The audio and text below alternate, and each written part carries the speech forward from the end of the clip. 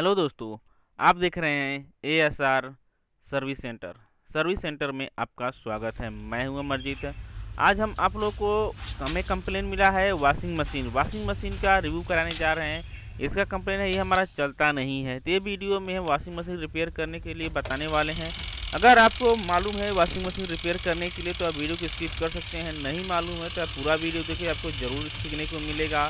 अगर आप नए हैं तो पूरा देखिए, पुराने हैं तो हमारा रिक्वेस्ट यही है। ये वीडियो जो है, नए टेक्नीशियन नए लोगों के पास शेयर करें, हेल्प ज़रूर करें यहाँ पर यहाँ पर आप देख सकते हैं, ये हमारा स्पैन मोटर, हमने टाइमर चालू कर दिया है, लेकिन मोटर हमारा चलता नहीं है।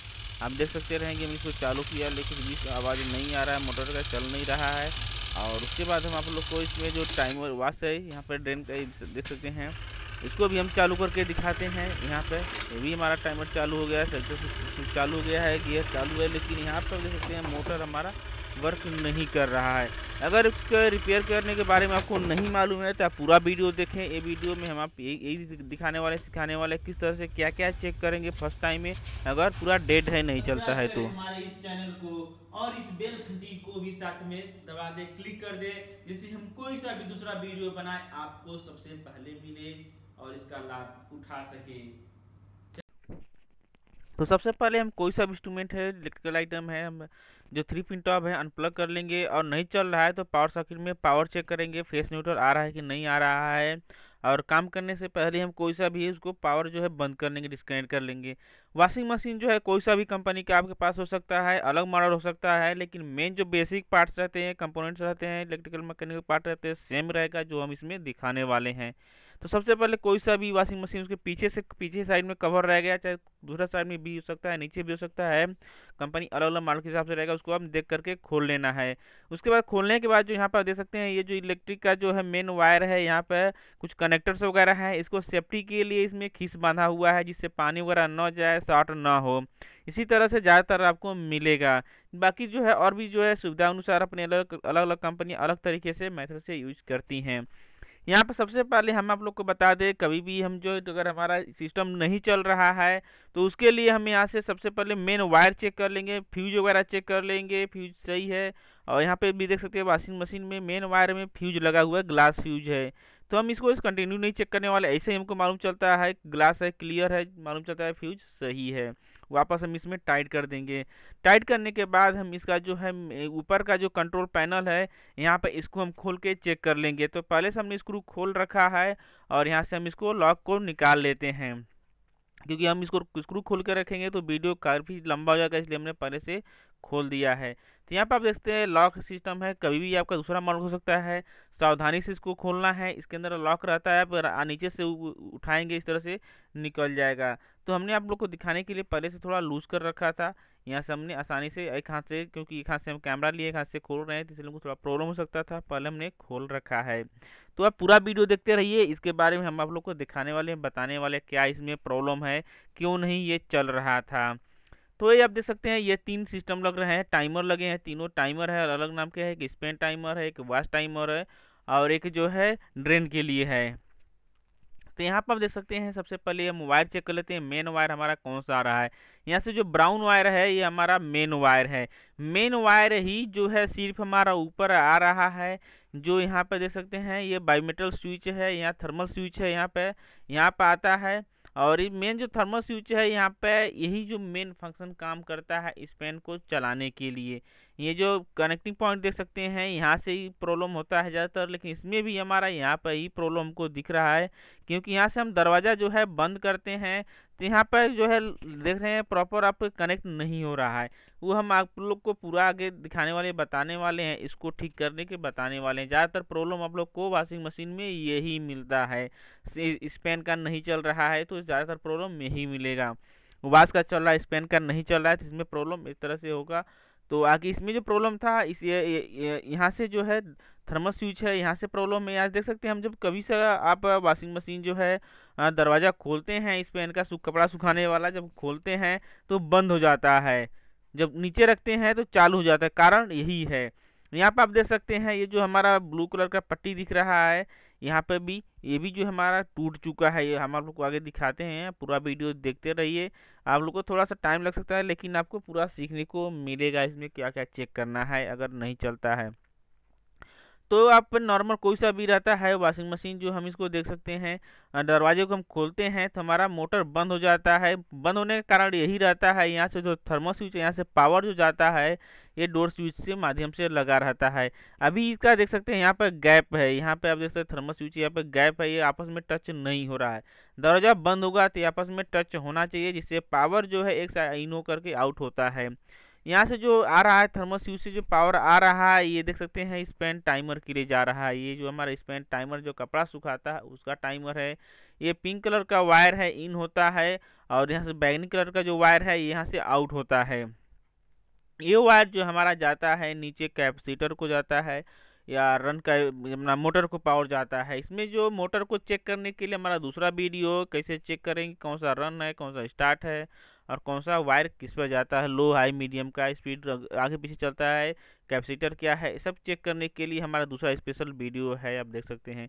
ये हमारा बैगनी वायर आ रहा है, एक ऊपर से ही आ रहा है, लेकिन ये दोनों मोटर के यहाँ से पावर जाता है, आप देख सकते रहेंगे यहाँ से हमारा दोनों मोटर को पावर जाता है। एक कैपेसिटर को जाता है, यहाँ सुपर जो आ रहा है एक कैपेसिटर को जाएगा और यहाँ से एक जो है मोटर को जाएगा। ये देख सकते हैं, ये दो वायर है। यहाँ से आप देख सकते हैं, जो पिंक वायर जा, आ रहा है, ये हमारा नीचे से यहाँ मार कहाँ जा रहा है, ये देख सकते हैं, पिंक, सॉरी, ये जो ब्राउन कलर का मेन वायर जो आ रहा है, डायरेक्ट एक वाश टाइमर को जा रहा है। ये जो वाश टाइमर है, इसको वाश टाइमर जो है स्पेन टाइमर इसको चेकिंग जो है हमारा दूसरा वीडियो है, किस तरह इसको चेक करेंगे क्या क्या प्रॉब्लम होता है, उसका हमारा दूसरा स्पेशल वीडियो है, आप देख सकते हैं इसको रिपेयर करने के लिए, ठीक करने के लिए। इसमें जो प्रॉब्लम हमारा यही है, यहाँ देख सकते हैं हम दरवाज़ा बंद करते हैं, दरवाज़ा बंद होता है, लेकिन ये कनेक्ट नहीं होता थर्मोस्विच जो है कनेक्ट नहीं होता है, जिसकी वजह से हमारा ये मोटर चल नहीं रहा था सिस्टम पूरा डेड हो गया, चल नहीं रहा था। बाकी और भी वो प्रॉब्लम दूसरा था वायर लूज था स्पेन मोटर का, लेकिन यहाँ से मेन जो प्रॉब्लम है, हमारा यहाँ पे ये यह है, दरवाज़ा स्पेन चल नहीं रहा था। हम देख सकते हैं, यहाँ से जो आपस में लिंक नहीं हो रहा था। इसको हम आगे जो है, आप लोग को रिपेयर करने वाले हैं, बताने वाले हैं, क्या तरीके इसको कर सकते हैं, हम करके दिखाएँगे चालू करके।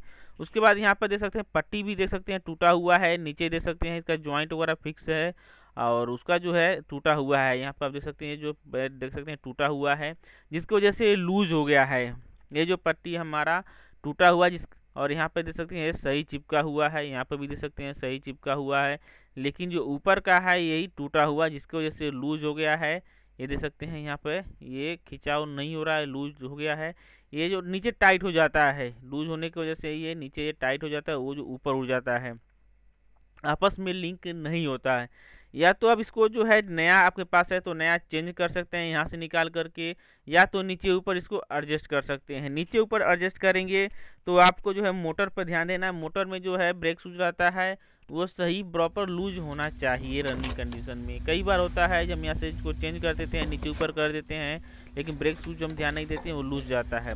हमने जो है यहाँ से जो इसको रिपेयर का वायर था, वो टूटा था, उसको टेप मार दिया है, लेकिन जो थर्मल स्विच है, इसका जो पॉइंट जो है टच नहीं हो रहा है तो इसको हम क्या करेंगे? नीचे इस तरह से दबा देंगे। देखिए, हमने उसको नीचे दबा दिया था दबाया दबाया तो आपस में भी टच हो रहा था जो हम बंद कर रहे हैं देख सकते हैं। थर्मल स्विच है। ऊपर से जो हमने नीचे साइड में दबा दिया तो आसानी से। जो पट्टी रहता है एलमिनियम जो है, एक, सॉरी, कापर का पट्टी रहता है, या तो पीतल का हो सकता है। यहाँ पर आपस में टच हो रहा है। हमने दरवाज़ा बंद किया देख सकते हैं, दरवाज़ा खोला वो डिस्कनेक्ट हो गया, बंद किया, चालू। आपस में लिंक हो गया। इसमें कई बार होता है कार्बन वगैरह आ जाता है रस्ट वगैरह आ जाता है तो उसको हेमरी पेपर से या किसी भी उसको करके उसको साफ़ कर लेना है, जिससे आपस में जो है लिंक होना चाहिए। आपस में लिंक नहीं होगा तो स्पेन का मोटर नहीं चलेगा, आगे का भी मोटर नहीं चलेगा। तो इस तरह से आप जो है चेक कर सकते हैं। ज़्यादातर प्रॉब्लम वॉशिंग मशीन में यही आपको मिलता है। जिसमें कई बार होता है, दरवाज़ा आपस में स्पार कर चल के स्पार होकर के मिल जाता है, नहीं चलता। अभी देख सकते हैं, हमने चालू किया इस पेन का, चालू किया। हमारा मोटर चालू है रनिंग हो गया हंड्रेड परसेंट पे वर्क कर रहा है आपका। आवाज़ भी सुन सकते रहेंगे। तो इस तरह से जो है, आप चेक कर सकते हैं, इसमें नहीं चल रहा है मोटर को। और यहाँ पर वाश का भी हम चालू करके दिखा देते हैं, ये भी अभी चालू हो रहा है क्योंकि वहाँ से जो लिंक जो है पावर जो पास हो रहा था बाकी आपको इसका वायरिंग डायग्राम चाहिए तो हमारा दूसरा वीडियो में वायरिंग डायग्राम है, हम उसमें बता देंगे आप लोग को। या हमें कमेंट करिए, हमने इसमें क्या सही बताया, क्या गलत बताया, आपको अगर मालूम है पुराने हैं तो आप भी जो इसमें कमेंट कर सकते हैं। लोगों का हेल्प ज़रूर करें, आपको अगर कुछ सीखना है, आपको मालूम है तो हम ये रिक्वेस्ट करेंगे आप लोग से, जो नए टेक्नीशियन है, चाहे पुराने लोग हैं सभी से जो लोग सीख चुके हैं, काम मालूम है तो हम यही हमेशा कहने आप लोग भी हेल्प करें नए टेक्नीशियन नए लोगों का। ये वीडियो जो है शेयर करें, जो लोग काम सीख रहे हैं या ए सी का फ्रिज का वाशिंग मशीन का कोर्सेस कर रहे हैं या सीखना चाहते हैं तो उन लोगों के पास ये वीडियो भेजिए हमारा ही ना भेजिए और भी लोगों का जो भी है, चाहे आपके पास जो भी नॉलेज है, सब कुछ है जो है, आप हेल्प करें, अधिक से अधिक लोगों तक ये वीडियो पहुँचाएँ शेयर करें। चाहे आपके पास कोई वीडियो हो तो वही भेजें हेल्प ज़रूर करें आप। यहाँ पर आप देख सकते हैं, हमने कुछ इस तरह से रिपेयर किया, और इसका जो, इसका प्रॉब्लम यही था थर्मल स्विच का प्रॉब्लम था, दरवाज़ा हम जो है खोलते थे तो हमारा जो है, आपस में लिंक नहीं होता था। दरवाज़ा जो हम बंद करते थे आपस में लिंक नहीं होता था। खोलने पर भी जो है, हमारा डिस्कनेक्ट रहता ही था। सॉरी तो इस तरह से जो है, आप रिपेयर कर सकते हैं। सबसे पहले अगर कोई सा भी वॉशिंग मशीन फ्रिज ऐसी कोई सा भी नहीं चलता है तो मेन पावर चेक करेंगे फ्यूज चेक करेंगे। उसके बाद यहाँ से कंट्रोल पैनल खोलेंगे। कंट्रोल पैनल खोलने के बाद यहाँ पर जो मेन प्रॉब्लम सबसे पहले चेक करना है थर्मल स्विच है। थर्मल स्विच को ज़रूर चेक कर, यहाँ से प्रॉब्लम ज़्यादातर होता है। तो ऐसा करता हूँ ज़रूर आपको कुछ सीखने को मिला रहेगा। अगर सीखने को मिला है तो हमें कमेंट करिए, आप भी हमारा फीडबैक देखिए, दीजिए हमें ये वीडियो का, हमने क्या गलत बताया है, क्या सही बताया अगर आपको पसंद आ रहेगा तो आप लाइक ज़रूर करें। लाइक करेंगे तो ये वीडियो अधिक से अधिक लोगों तक पहुँचेगा और भी लोग सीख सकेंगे, देख सकेंगे। आज आपका दिन शुभ हो। Thank you for